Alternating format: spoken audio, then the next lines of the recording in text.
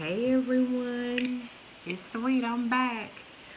I was recording before.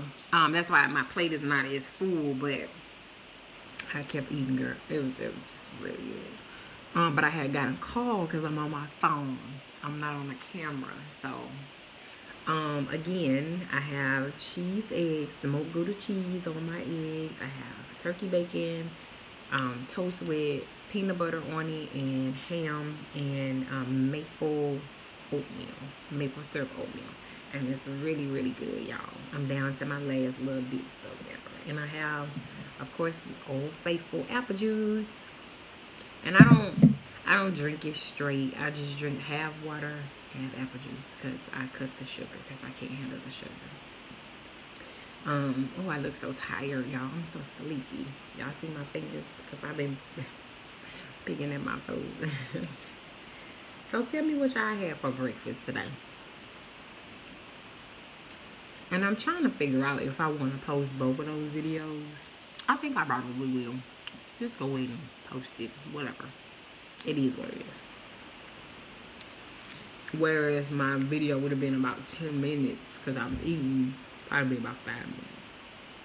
So I probably will post both of them.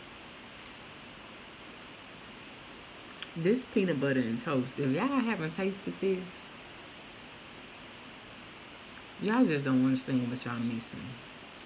With the saltiness of this ham and peanut butter. Let me tell you something. I'm eating this food like I'm mad at it. yes, indeed. Mm-hmm.